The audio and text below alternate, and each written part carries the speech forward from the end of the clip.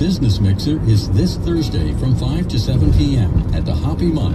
All TPR business members are invited to attend for some spooky good drinks and appetizers. Halloween-themed cocktails and local brews will be available, along with great appetizers from their locally sourced Scratch Kitchen. This TPR business member Mix It Up is made possible in part by Texas Mutual Insurance. Not a business member yet? Sign up today at tpr.org in the Support TPR tab. Listener-supported public radio 88.3 KPAC, San Antonio's classical oasis. Julia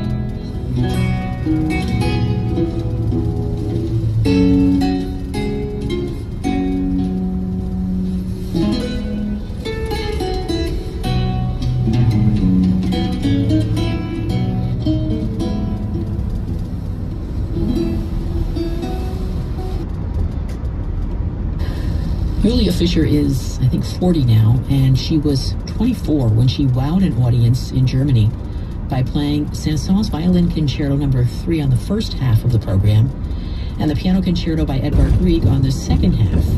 The concert was with a German youth orchestra captured on DVD, and during a cadenza in the piano concerto, there's a violist from the orchestra, and we watch her looking at Fischer in absolute awe. I'm sure most people in the audience felt the same way.